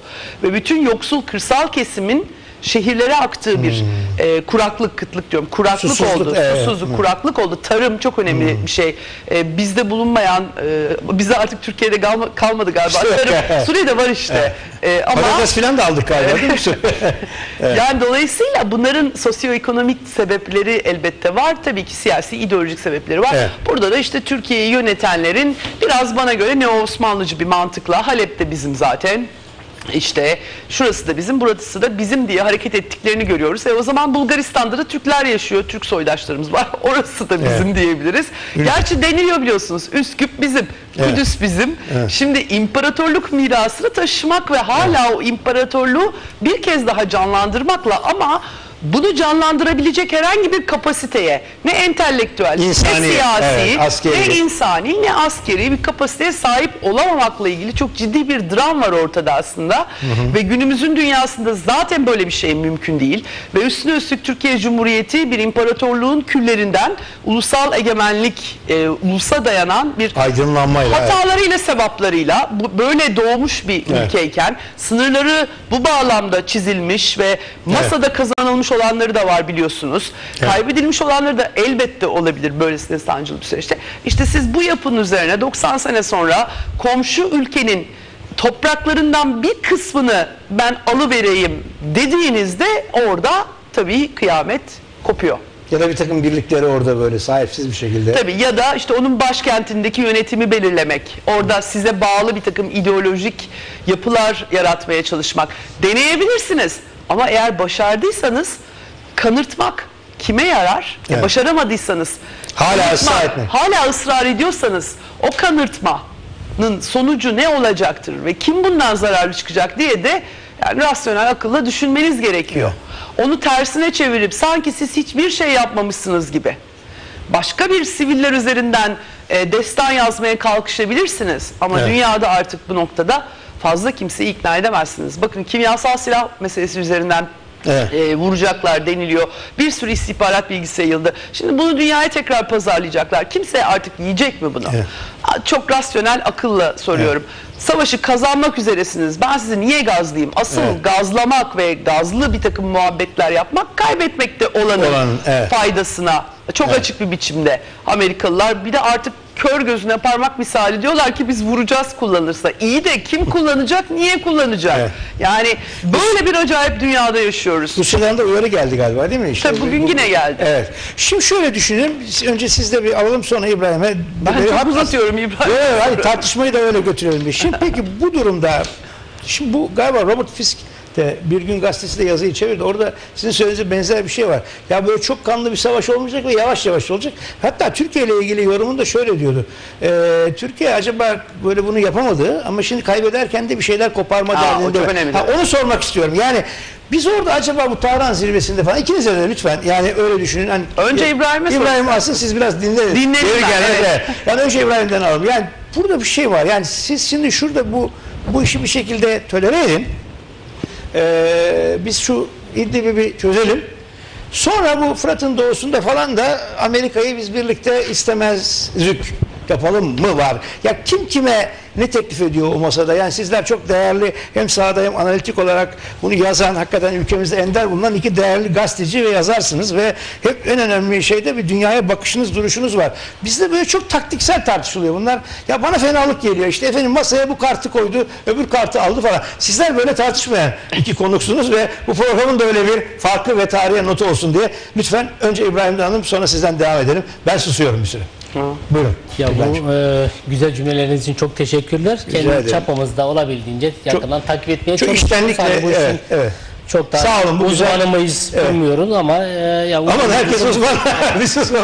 Değil uzman değiliz ama işte yakından mesleğimiz gereğince de takip etmeye çalışıyoruz. E, şimdi Robert Fisk'in de makalesini çevirdik. Hakikaten Türkiye bir şey ya bu süre zarfında e, bir şey elde edemedi ama yenilmek üzereyken tamamen e, orada kaybetmek üzereyken bu süreçte yani bu hengame içerisinde bir şeyler koparmaya çalışıyor. Yani şimdi elinde bir takım tozlar da yok diye Türkiye ama bunu na- nasıl, nasıl ne kadar e, kullanabilecek kapasiteye sahip, e, ne kadar da kullanmasına izin verilecek. Evet. Bunu göreceğiz. Bunu pazarlıklar masasında göreceğiz. Çünkü yani Suriye'de bu radikal İslamcı tehlike bertaraf edilmek üzere. Yani İdlib dahil, yani İdlib'in İdlib operasyonu zaten olacak. Yani yakın bir dönem içerisinde bu operasyonu olmuş varsayarak da bunları söylüyorum. Ya İdlib böyle bırakılmayacak. Yani bu, bu bir saçmalık. Yani bu bir saçmalık. D- d- saçmalığın daniskasıdır. Yani orada işte on binlerce ifade edilen radikal İslamcı militanlar toplamış durumdalar ve bunları birer e, serseri mayın gibi nerede ne zaman nasıl patlayacakları belli değil. Ya bunların hiçbir ülke buna Türkiye Cumhuriyeti'nin kendisi dahil bu yeni Osmanlıcı zihniyet Ya o kadar da değil diyorsun. Evet, Osmanlıcı e, tabii, hayır yani bunların kendisi ya, de evet. Ya bu çünkü bu tehlike bunlar için de bizim için de çok e, akut bir şekilde varlığını sürdürüyor. E, bu hani şimdi olmaz, bir ay sonra, bir ay sonra olmaz, üç ay sonra en fazla e, en fazla geciktirilmiş olur ama bu operasyon olacak. Şimdi İdlib, İdlib'le birlikte de e, bu Suriye'deki savaşın birinci cephesi, yani birinci perdesi kapanmış olacak. Yani bu radikal İslamcı e, tehlike bertaraf edilecek. Artık yeni bir döneme yani yeni bir çatışmanın, yeni bir kavganın veya bilek güreşinin e, platformuna geçilmiş olacak. Şimdi burada da önümüzde çok e, ya iki önemli temel e, sacağı var. Biri Fırat'ın işte doğusu. Şimdi ABD oraya yerleşmiş durumda. Hala daha yığınaklarını yap- yapıyor oraya. Ve bunu yaparken de hem e, işte oradaki Suriye Demokratik Güçleri işte ağırlığın bölümünü Kürtlerin oluşturduğu, yani Suriyeli Kürt yapılan oluşturduğu gruplar üzerinden artı bölgedeki Rakka'da deriz oradaki işte bir takım e, yerel aşiretler üzerinden de çünkü oradaki Arap nüfusunu da kullanmak istiyor. E, orada bir takım korkular yayarak orada veya bir takım istikrarsızlık istikrarsızlıkla üreterek bölgedeki varlığını kalıcılaştırmak istiyor. Şimdi bir sürü işte irili ufaklı ondan fazla üsler kurulmuş durumdalar. E bütün bunlar yapılıyorsa ve bu yığınaklar yapılmışsa ABD'nin bölgeye yönelik tasavvurlarında çok uzun vadeli bir takım şeyler vardır demektir. Biz şu anda çok fazla bunu göremezsek de esasında görüyoruz. Anlıyoruz. Nedir o yani okuyoruz. bölgesel küçük yönetimler bu- mi? bu- Nedir? Yani şu yani Fırat'ın e, doğusunda yani Suriye İran'a yönelik bir orada ya bir tampon İran, İran, İran ayağı da var. Yani o bölgeye yerleşecek. Yani Doğu Suriye'ye yerleşerek yani Fırat'ın doğusu artı İran batısı o zengin petrol havzası, zengin enerji havzası bölgeyi denetim altına alarak iki şey yapmış olacak. Birincisi bu enerji vanasını bir şekilde e, kontrol etmiş olacak. Şimdi oraya girdiği zaman Irak, Suriye coğrafyasında oraya o kamayı soktuğu zaman hem bu enerji kartlarında e, önemli pay sahibi olacaksınız hem de adım adım gelen İran'ın kuşatılması, İran'ın e, hapsedilmesi Evet. politikasını aya- hayata geçirmiş olacaksın. Oraya girdiği zaman işte İran meşhur hani anlatılan Şii hilaliymiş, İran'ın e, bölgesel nüfus alanıymış, İran'ın işte Tahran'dan başlayaraktan e, Irak'tan, Irak'tan e, Suriye üzerinden Lübnan'a uzanan o hattı bir şekilde fiili olarak oraya girmiş olacaksınız. Şimdi daha önce Irak işgalinde bu bir şekilde e, yapılmaya çalışıldı ama baş, elini, e, yüzüne gözüne bulaştırdılar. Şimdi oraya yerleşerek ve askeri üslerle birlikte işte bütün e, tezatıyla birlikte yerleştiği zaman da hem Irak hem Suriye'yi hem de İran'ı bir şekilde artı buna Türkiye'de dahil bir şekilde o kontrol Bir koz olarak ne bir koz olarak hem de bir kontrol mekanizması olarak göreceksiniz. Siz bu üç coğrafyanın, dört coğrafya kesiştiği noktaya girdiği zaman, örneğin Sincar Dağı'na yerleştiğiniz zaman, Ceyda bile oralara gidip bizzat da gördüğü için de Evet. o dağlardan Suriye'yi, Irak'ı, biraz ötesinde İran'ı biraz uzağa düşüyor ama Türkiye'yi bir şekilde kontrol etmiş olursun. Oraya büyük bir üst kurduğunuz zaman bütün bölgeyi denetlemiş Ya bir şey yapmaya gerek yok diyorsun. Öyle mi? Tabii Siz- oradaki varlığınız dahi Ha. ciddi anlamda bölge halkları için, bölge devletleri için, kendisinin istemediği rejimler için ciddi bir tehlikedir. Şimdi ABD oradaysa kendi senin benim veya Suriyelilerin iyiliği için, e, bekası için orada değil. kendi bölgesel çıkarlar için orada. İşte bu bölgesel çıkarlar nedir? Şimdi ABD'nin bölgesel çıkarlarıyla bölge halklarının çıkarları birbiriyle çakışıyor, birbiriyle örtüşmüyor. ABD varsa sorun var, ABD varsa istikrarsızlık var. Çünkü bu istikrarsızlık ABD ve ABD türevi ülkelerin bir yere müdahale etmesini kolaylaştırır. Çünkü varlıklarını öyle meşrulaştırıyorlar. Şimdi ABD bölgeye yerleşirken evet elini kolunu sallaya sallaya bölgeye yerleşmeye çalışıyor ama bunu şunun üzerinde meşrulaştırmaya çalışıyor. IŞİD tehlikesi var. Daha doğrusu IŞİD vardı. IŞİD şimdi yenildi, eee, ortadan kayboldu ama hala IŞİD geri gelebilir. IŞİD tehlikesi var. Üzerinden kendisini orada meşrulaştırmaya çalışıyor. Siz ne diyorsunuz? Şimdi size atıfta da bulundu İbrahim. Ve aynı zamanda tabii şey de soralım oradan. Bu bir bu harita bu İdlib'den sonra da böyle kalacak mı? Yani İdlib şu şekilde bir şekilde Esad ve Sovyet ya şey Rus şeyli bittikten sonra sen artık git mi denecek? Veya biz ne yapacağız? Bu son bölümde bunları böyle bir egzersiz yapalım istiyorum. Çünkü ihtiyacımız var.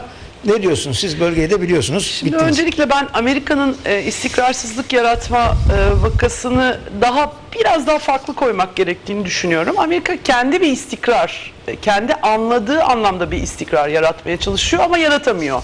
Bu da tabii ki artık neoliberal düzenin gelip e, durduğu noktada e, gücündeki hegemonik azalma, dünya ekonomisi, Çin'in, Rusya'nın rakip güçler olarak sahne almasında e, bunda etkili.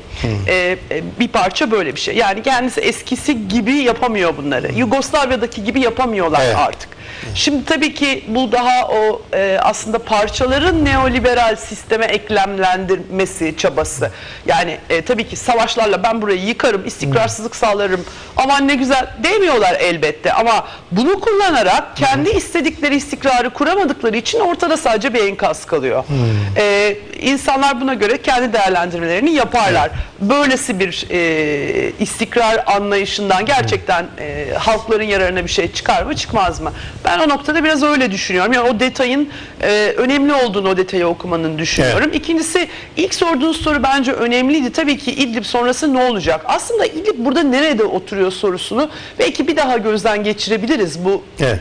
operasyon vesilesiyle. Şu açıdan Türkiye için çok önemli olduğu için en başta e, e, şimdi e, İdlib e, bu işin en son ucu artık bundan sonra bitecek, kop- kopacak her şey diyoruz ya hepimiz. E, Evet. çünkü Suriye ordusu bütün toprakların ABD işgali altındaki e, kısmı dışındaki her yerini yeniden ele almış durumda. Evet. Geriye İdlib kaldı. O yüzden böyle bir saptamayı hakikaten yapabiliriz.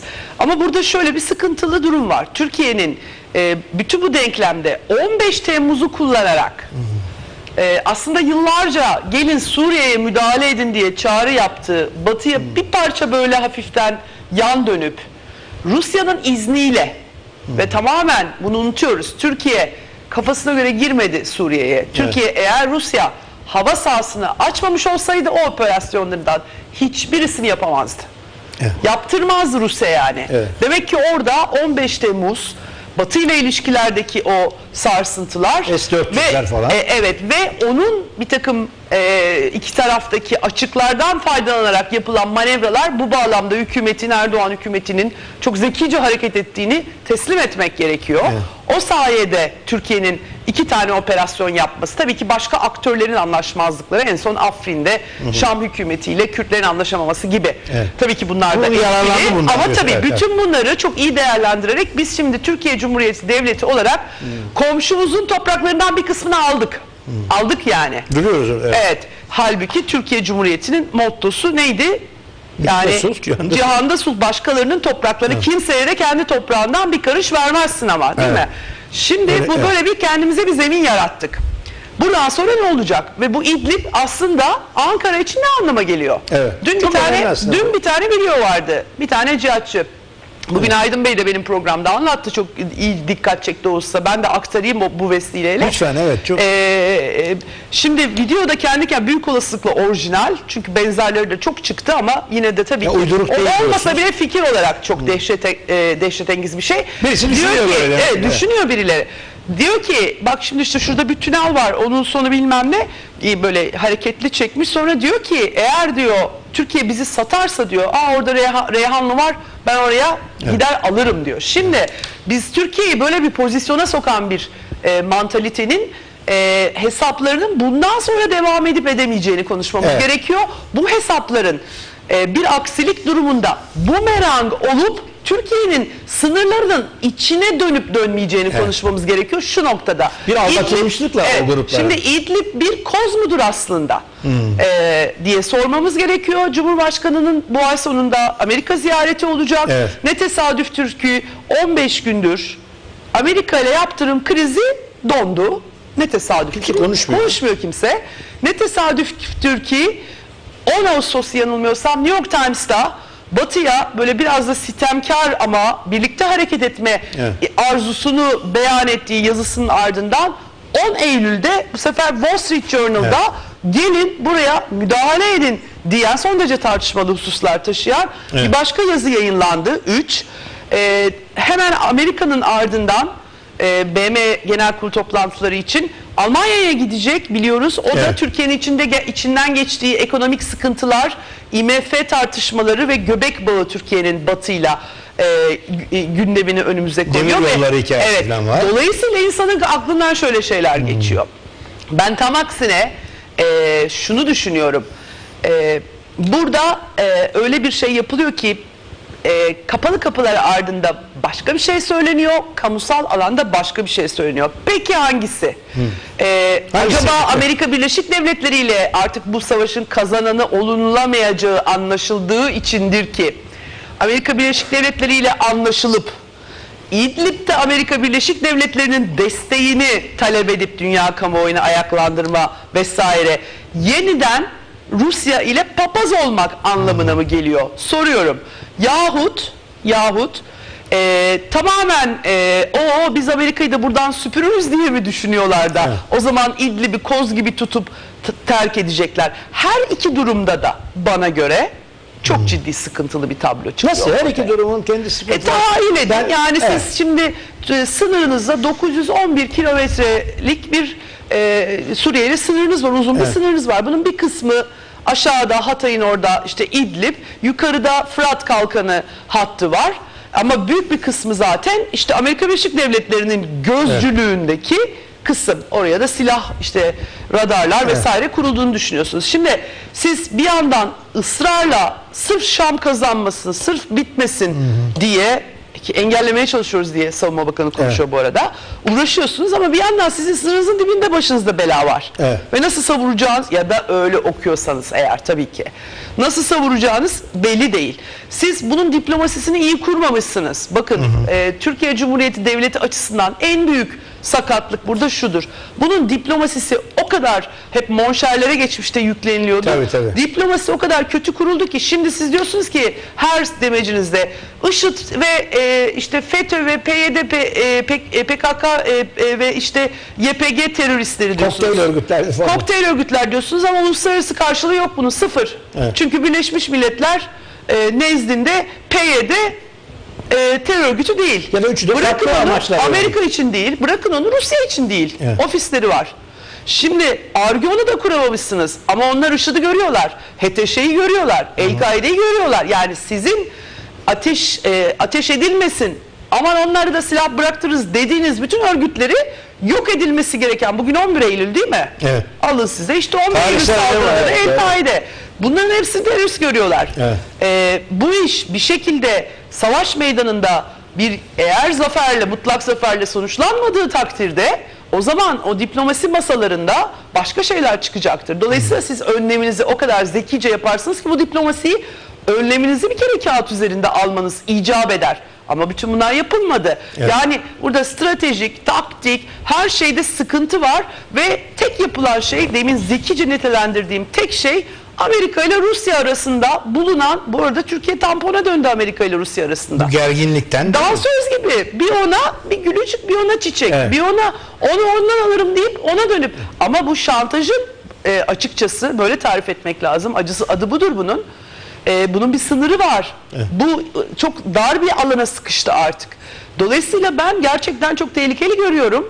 E, ve e, daha önce de yazıldı çizildi. Pakistan Afganistan meselesi. Ben e, bundan 3 sene önce e, İmtiyaz Han çok ünlü bir Pakistanlı akademisyen, gazeteci, yazar. Onunla söyleşi yapmıştım. Bunun e, e, Afganistan Savaşı'nı e, istihbarat servisi eşliğinde Amerika Birleşik Devletleri'nin arzusuyla tetiklemenin Pakistan'a maliyetlerini anlatmıştı adam.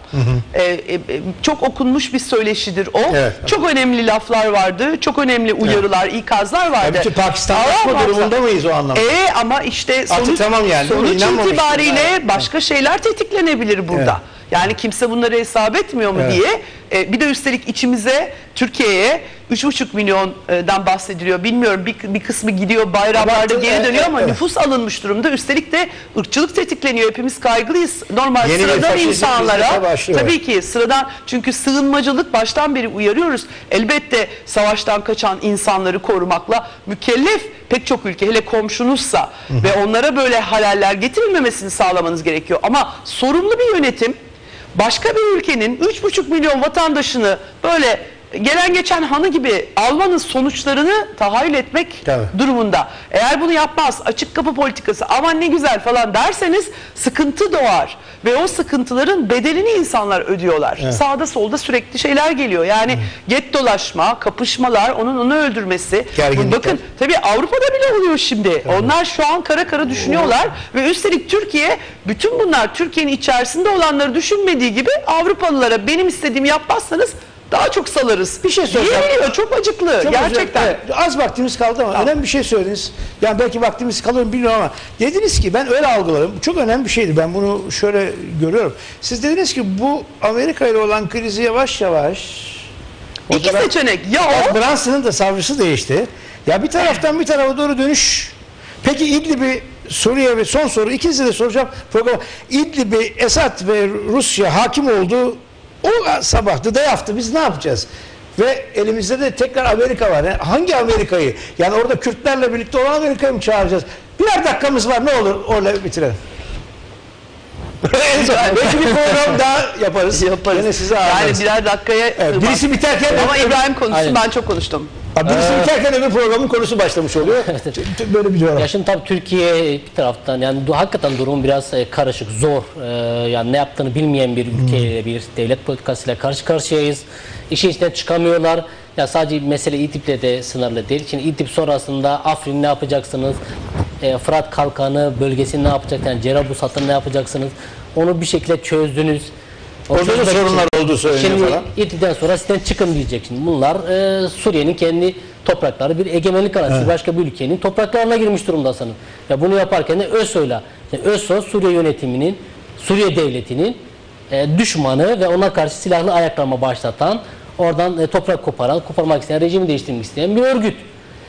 Öbür gün Suriye artı Rusya'nın desteğiyle artı İran desteğiyle yani şimdi Astana sürecine birliktesiniz. Buradan gidin dediğiniz zaman elinizi kolunuzu sallayıp oradan çıka- çıkacak mısınız? Evet. E çıkarsanız o zaman rejim yani yani rejim dedi yani Ya eski- pardon şöyle bir durum olmuş. Oradan olacaksın. çıkmak için Amerika'ya yani kızdığınız orada YPG ile olan Amerika ya beni buradan çıkartıyorlar sen bir şey mi yapma diyeceksin. Ne diyeceksin? diyecek? Ya Onu, çok onu, onu da diyemeyecek. şey bu. Şimdi onu derse başka bir sıkıntı var. Demese başka Süremiz bir sıkıntı var. Daha büyük bir, dakika, daha evet. büyük bir Evet. sıkıntı sadece şu bence bütün bunlar olup biterken bir dünya savaşı e, riski var. Onu da bir kenara not etmekte fayda var Evet. diye düşünüyorum. Evet. Onu ona kırdırayım, bunu buna e, şey yapayım derken gerçekten e, inatla ben oradaki benim ideolojik kardeşliğimi koruyayım derken Rusya ile Amerika arasında ciddi savaşa e, sebebiyet yani öyle bir şekilde patlayacak ve daha büyük boyutlar alacak. Demin benim dediğim gibi İsrail'in İra- Irak'ı, Irak'taki İran'ı, İran'ın Irak'taki başka bir şeyi, öbürünün Suriye'deki bilmem neyi vurduğu başka bir resim çıkarsa işte o zaman e, düşünün Türkiye Dünya Savaşı'nın çıktığı yeri göbeğinde bir ülke Merkezinde haline gelir. evet. Bir yere e, e, hakikaten not etmekte Evet fayda çok var. hızlı bir program oldu, güzel program oldu ama bir program daha yapacağız böyle giderse belki daha da fazla daha artık Allah yaptırmasın diyelim. Efendim Sayın Ceyda Karan, Sayın İbrahim Varlı çok teşekkür ediyoruz. Çok güzel program oldu. Umarım sizler de e, beğenerek izlemişsinizdir. Gene de her şeye rağmen biz ümitliyiz, umut varız öyle de bitirelim deriz. İyi akşamlar. E, çok da teşekkür ediyorum ikinize de.